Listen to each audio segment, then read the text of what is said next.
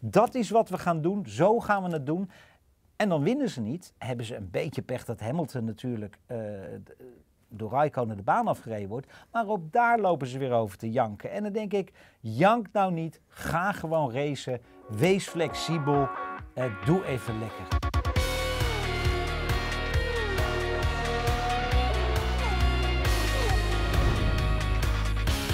Dag dames en heren, heel hartelijk welkom. Het is tijd voor Slipstream. En het was een mooi weekend, Kees. Fantastisch weekend. We hebben uh, ja, het over de Grand Prix dan. Ja. Maar hoe was jouw weekend? Nou, mijn weekend was helemaal goed. En dan begin ik meteen met mijn top van het weekend. Ja, ik ben er nooit zo van om over jezelf te praten. En dat doe ik eigenlijk toch een heel klein beetje nu. Want ik heb gereden Classic Le Mans met de uh, historische groep C-auto.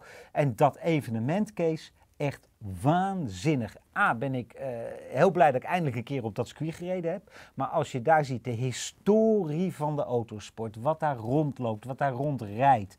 Echt een briljant evenement. Klopt. Maar nu gaan we naar historie Formule 1. Ja. En dat is Silverstone. Ja, overigens over historie gesproken. Daar reed uh, op de zaterdagochtend volgens mij Tommy Byrne met een, uh, met een Formule 1 auto. En dat is over historie gesproken. Google die man. En uh, dan zeg ik er verder niks meer over. Maar voor mij was dat toch wel een mooi moment. Kijk goed. de documentaire die over hem Juist. gemaakt is. Fantastisch. Ja, Maar goed, nogmaals. Silverstone. ja. Geweldig. Mooi? Super evenement. Goeie race, moet ik zeggen. Ja. Met spanning en sensatie. En eh, ja, wat de Engelsen daar gemaakt hebben van dit evenement. Absoluut ongelooflijk. eh, genieten. Ja. En natuurlijk eh, is Silverstone al de place to be hè, voor, voor, voor een race. Maar deze Grand Prix was echt eh, formidabel.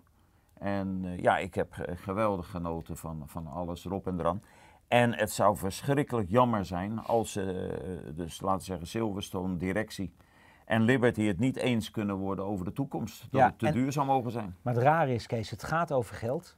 Er komen eh 350.000 mensen bijna daar. Dan denk ik, hoe kun je het nou niet kunnen betalen? Hoeveel moet je dan in hemelsnaam aan Liberty Media betalen om die Grand Prix te mogen organiseren?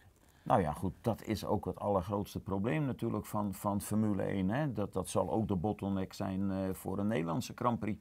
Het kost gewoon te veel als je met zulke toeschouwersaantallen Ja. het nog niet kan financieren. Hè? Maar hetzelfde geldt voor Spa. Daar is pas bekend geworden dat de lokale regering van Wallonië weer geld erbij legt. Maar dat is ook uitverkocht en die kunnen ook niet Nee. zonder verlies draaien. Ja, dat is een mega probleem. Maar goed, laten we positief zijn en hopen dat ze het over eens worden. Want deze Grand Prix mag niet verloren gaan. Nee, absoluut niet. Twee fantastisch mooie evenementen op twee historische circuits, Le Mans en Silverstone. Onze tops. Nou, dan eh, gaan we meteen door met jouw flop. Nou ja, dat is McLaren. Dat is abso- absoluut McLaren. En dan heb ik het niet zozeer over de prestatie tijdens de race. Daar zijn we nu een beetje aan gewend. Maar eh, ja, deze schetsvertoning. Eh, vorige week wordt er nog gezegd, nee, er wordt niemand ontslagen. Nee, Prompt. lijkt wel een eh, voetbalteam. Ja, ja, ja, ja, daar moet je een beetje, het lijkt wel een beetje de voetbalmentaliteit. Als de voorzitter achter je staat, dan is de trainer al gauw gezien. Ja, Nou ja, hier was het ook zo. En nu hebben ze dan een beetje, hoe zeg je dat in het Nederlands, posities verschoven. Maar het komt er eigenlijk op neer dat ze alleen een ander naamplaatje gedaan hebben. Eén man ontslagen, die anderen hebben een andere naam, maar hebben nog exact dezelfde de functie. De belangrijkste man wordt nu Andrea Stella. Zo. Maar die deed al het werk wat hij nu weer Ja. gaat doen, alleen heeft hij een andere, zijn functie een andere naam gekregen.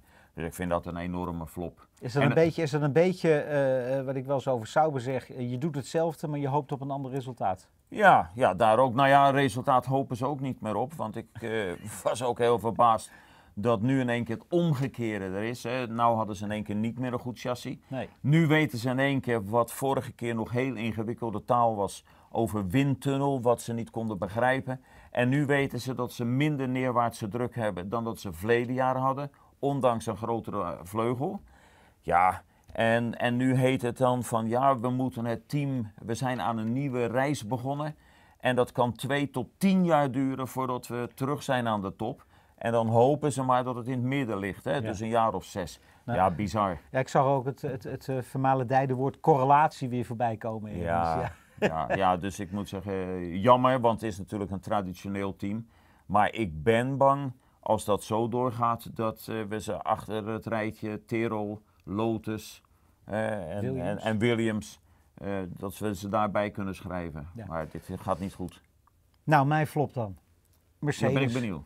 Ja, en waarom? Nou, om een aantal redenen. A, uh, heb ik het idee dat ze uh, daar bij, uh, bij, bij Mercedes, als het niet volgens protocol gaat en ze rijden vooraan, dan wordt het helemaal niks. Ook nu weer niet creatief omgaan met safety car situaties. Twee rijders met dezelfde strategie. Ik denk, haal er eentje binnen. Dan heb je misschien geen nieuwe, uh, zachtere banden meer. Maar je kan met één van die twee toch een gok nemen. Of denken, nou, misschien als we lang achter de safety car rijden, dan hebben we aan die andere. Weet je, er wordt, dat is wat we gaan doen. Zo gaan we het doen. En dan winnen ze niet. Hebben ze een beetje pech dat Hamilton natuurlijk. Uh, door Raikkonen de baan afgereden wordt. Maar op daar lopen ze weer over te janken. En dan denk ik, jank nou niet. Ga gewoon racen. Wees flexibel. Uh, doe even lekker. Maar ja, prima. Maar een beetje pech. Dat was natuurlijk wel grote pech. Hè? Ik bedoel, even afgezien van het incident, kunnen we het later over hebben. Maar anders had Hamilton gewoon gedomineerd. Want Mercedes had duidelijk hier de beste auto. Nee, dat, dat ben ik zo, helemaal met je eens, Kees. Maar het, en, hoe ze daarop reageren, vind ik dan zo. Ja, nee, dat, dat ben ik met je eens. Dat maar is, ik dan moet denk zeggen, ik, ja, jongens. Ze hebben de, de, de training gedomineerd. Hè. Ze hadden echt snelheid in die auto's. Hamilton was prima. En ook, moet je zeggen, Hamilton komt dan toch weer helemaal van achteraan naar de tweede plaats. Dus uh, ja, uh, de reactie allemaal. En dat is dan dadelijk ook de quote. Ja. maar, maar, de, maar ik, nou, ik vond niet Mercedes aan zich. Als je zegt het management misschien een flop. Maar, maar nou, Mercedes, niet de taal die ze uitslaan. Nee, nee, dat, uh, nou ja, dat is al. Daar hebben we het al zo vaak over gehad. Hou je, hè, schoenmaker, hou je bij je leest. En dan deze quote zullen we hem erin gooien. Doe maar. Dan uh, dat het of onkunde, dus van opzet of onkunde was van ja. Rijkonen. Ja, uh, Mercedes hebben ook wel eens uh, uh, tegen anderen aangebotst. Ook tegen Ferraris. Ook tegen Ferraris. nou ja, dat was dan misschien ook opzetten, maar een beetje kinderachtig. Ik vind, kijk, ze zijn niet meer de snelste. Ik denk dat Ferrari op dit moment een snellere auto heeft. Hè? en, en zeker in de race, omdat ze wat flexibeler zijn, zijn ze echt sterk. En dan, en dan krijg je dus gewoon dit soort teksten. Dan krijg je een Hamilton die uiteindelijk is het Hamilton die die auto op pol zet. Ja, dan, dan wordt het allemaal spannend. Dan heb je dit soort dingen. En dan, ja, dan rij je een keer Raikkonen, die rijdt tegen Hamilton aan. Knullige actie, lompe actie. Maar ja, het is ook racen. Nee, maar dat klopt. Maar even terugkomend op, uh, daar verschillen we misschien iets van mening. Ik denk dat toch Mercedes de betere auto had, of de snellere auto had eh, op, op dit circuit. Maar ik denk ook dat Mercedes niet zo, het niet zo goed team heeft dan Ferrari. Dat ze nu ze onder druk staan, dat het niet meer zo makkelijk gaat, nu te veel fouten maken. Maar ik denk als je de twee auto's naast elkaar zet, zeker op Silverstone, dat Mercedes toch wel hier het, het, het beste pakket had. Ja, maar dan heb ik bij Duitsers altijd het idee, hè, ik zeg dat nogmaals, het moet volgens protocol, zo gaan we het doen, daar houden we aan vast. En uiteindelijk zijn aan het eind van de race, uh, ja, dat, dat heeft niet gewerkt. Ja, nee, nee. Dat klopt wel, ja. ja. Ik wou bijna wat zeggen, maar dat nee, laat ik maar achterwege. Goed, uh, Vettel, geen foutje gemaakt, uh, optimaal gebruik gemaakt van de omstandigheden. En uh, ja, je kan hem ook niks kwalijk nemen. Nee, niets. Waarom? Ik bedoel, nee. waar, waarom? Ik, ik, ik nee, dan wordt er een beetje geboet en gedit. En denk, ja, ja, die man doet toch niks verkeerd? Precies, ik hoorde ook het commentaar van een Engelsman daarop. Ja, dan denk je, wat, wat, moet die man meer? Hij heeft gewonnen, klaar uit. Ja, Applaus. Dus uh, nou, Hamilton goed tweede. Ja. Raikkonen, ik heb om Raikkonen ook wel gelachen. Zijn vrouw die, die een leuk Instagram berichtje na de race doet over Hamilton, daar moet ik dan wel weer om lachen. Uh, van als je, als, je, als je niet tegen je verlies kan en je gaat huilen, dan moet je maar op ballet gaan of zo. Nou, uh, dat vind ik de humor die er ook is. Raikkonen die onderweg een keer tegen het team zegt van nou, mag ik zelf niet meer nadenken over eventuele strategieën. maar ja, Raikkonen, het was wel een knullige actie. Rijdt daarna wel een sterke race. Ja, maar goed, eh, ik bedoel, waar hebben we het over? Dat kan gebeuren, dat ja. is race. Ja, en hij heeft zelf ook toegegeven. Hij ja. heeft ook helemaal geen probleem ervan gemaakt wat de onze. Hij zei, nou ja, ik heb dat lomp gedaan. Nou ja, klaar uit. Hij heeft zijn straf gehad en ondanks die straf is hij nog derde geworden. Nou prima, klaar. Volgende onderwerp. Nou, uh, volgende onderwerp. Max. Ja, nou ja, kon niet beter. Hè? Hij heeft er alles aan gedaan. Auto was te langzaam dat ook geen verrassing, net zo goed als vorige week in, uh, in Oostenrijk geen verrassing was. Uh, het, het, het, beste was misschien vierde geweest. Hè? Ja. Vierde. Nee, we waren duidelijk in de training wel, wel schrikbarend langzaam eigenlijk. Hè? Ook op de rechte stukken.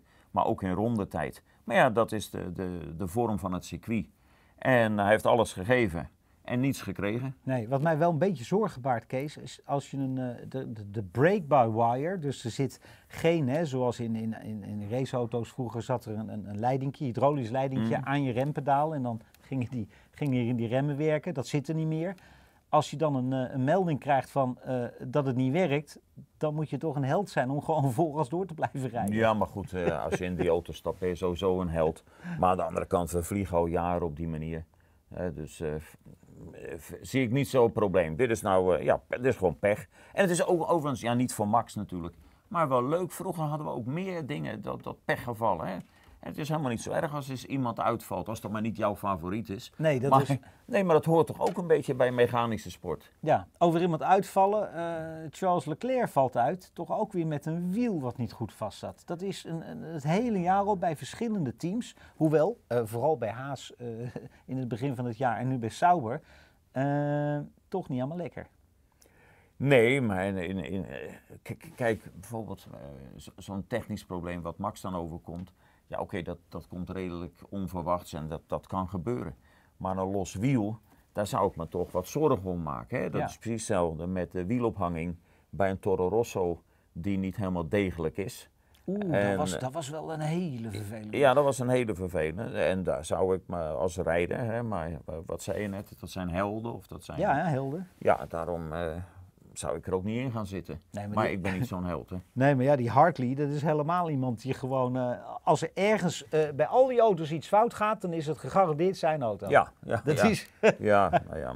Eh, die zit even in ook de voor hem gaat vallen. het stoplicht auto op groen. Voor hem gaat ooit het stoplicht op groen. Even, eh, we hebben wat, wat, wat mensen. Er is één jongen die, die komt constant terug met het idee dat Carlos Sainz weggaat bij Renault. Eh, als, als Red Bull niet snel een beslissing neemt over zijn carrière. Eh, nou, wat mij betreft is het zo dat Ricciardo heeft bijgetekend of gaat bijtekenen. En Sainz blijft gewoon bij Renault. Toch? De, de, de- de- Dat is- ja, dat is wat er gaat Dat is eh, zeer waarschijnlijk, want je moet je dan ook afvragen, waar zou hij heen moeten gaan? Hij zal zeker niet naar Williams gaan. Nee? Nee, ik vermoed van niet. Nee, maar gewoon het, het, het, het, de rijderscarousel is min of meer gesloten. hè. Mercedes houdt zijn twee rijders. Nou, bij, bij Ferrari blijft Vettel. En er blijft of Rijkonen of Leclerc komt. Ja. Nou, dus het is, en, en de Red Bull rijders blijven dezelfde. Dus voor Sainz is nergens anders plaats. Dus die blijft gewoon. Overigens, eh, de enige reden dat er nog eens dingen gaan veranderen is als onze grote vriend uit India, die niet Engeland uit mag, Vijay Mallya, besluit dat eh, Force India verkocht gaat worden, wat er nu schijnbaar toch aan zit te komen.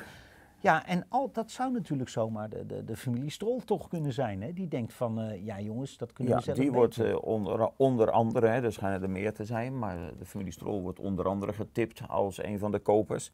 Nou ja, eind van deze maand weten we meer, hè, want dan besluit de rechtbank in Engeland of hij uitgeleverd wordt of niet. En als hij uitgeleverd wordt, ja, dan is het toch eh, het, begin van, nou ja, het begin van het einde, dat is al aan de gang. Maar dan wordt het toch wel redelijk definitief. Zou kunnen, maar er schijnen ook andere te zijn. En waarschijnlijk brengen die dan toch ook een rijder mee. Eh, maar verder denk ik niet dat er, dat er veel gaat veranderen op de rijdersmarkt. Nee, wat wel, wat wel frappant is, er worden veel, veel namen genoemd. En dan heb je een, een Latifi wordt genoemd, die ook aandeelhouder is bij McLaren overigens. Er wordt een, eh, een La Liberté en een, en een Stroll. Het zijn allemaal Canadezen. Dat is toch ook heel apart. Ja, nou ja, misschien Team heeft... Canada, misschien moeten ze ja, met z'n drieën dat doen of zo. Ja, maar ik geloof, eh, ik, ik ken in ieder geval twee van de drie. En ik geloof, geloof niet dat die samen wat gaan doen. dat lijkt me niet. Eh, Nee, die willen elkaar meer de loef afsteken. Hè. Wie kan er nog meer geld uitgeven? Oké, nou, ehm, samenvattend, Grand Prix van Engeland mag niet verdwijnen. Ik heb ook weer foto's Nee. gezien, Kees. eh, mensen lekker op een, op een weilandje met een koelboxje erbij, eh, families. Het is echt zo'n gaaf evenement. Het heeft, het heeft iets. Nee, maar alles eromheen ook. Weet je, ze hadden historische Formule 1. Ze, Ja. ze, ze hebben het feest eromheen. Ja, absoluut fantastisch. Ja, feest was het ook voor de Nederlandse deelnemers eh, afgelopen weekend. Op verschillende continenten wordt er geraced. En laten we eens een blokje Nederlanders doen. En dan beginnen we aan de overkant van de oceaan. Renger van der Zanden en Jeroen Blekemolen rijden het hele jaar in Amerika, het IMSA-kampioenschap. Renger ging heel lang aan de leiding met, met zijn eh, auto, maar werd uiteindelijk tweede. En Blekemolen won de GTD-klasse met zijn Mercedes samen met Ben Keating. Eh, de tweede, het eerste overwinning van het jaar, tweede podium pas. Maar die jongens die doen, eh, die doen lekker mee daar. Leuk racen, gewoon zoals het hoort. Ja, prima. Ja. En, dan, en dan gaan we naar twee wielen. Michael van der Mark, goed resultaat gehaald op eh, Misano. Mag ook wel eens gezegd worden. Ja, en ik, ik blijf het zeggen, hè, de Bullet heeft weer toegeslagen, Kees. het is eh, de tweede overwinning op rij. Dit weekend had hij eh, een beetje mazzel dat Caroli niet twee keer tweede werd. Dus hij loopt dat verder uit in het kampioenschap.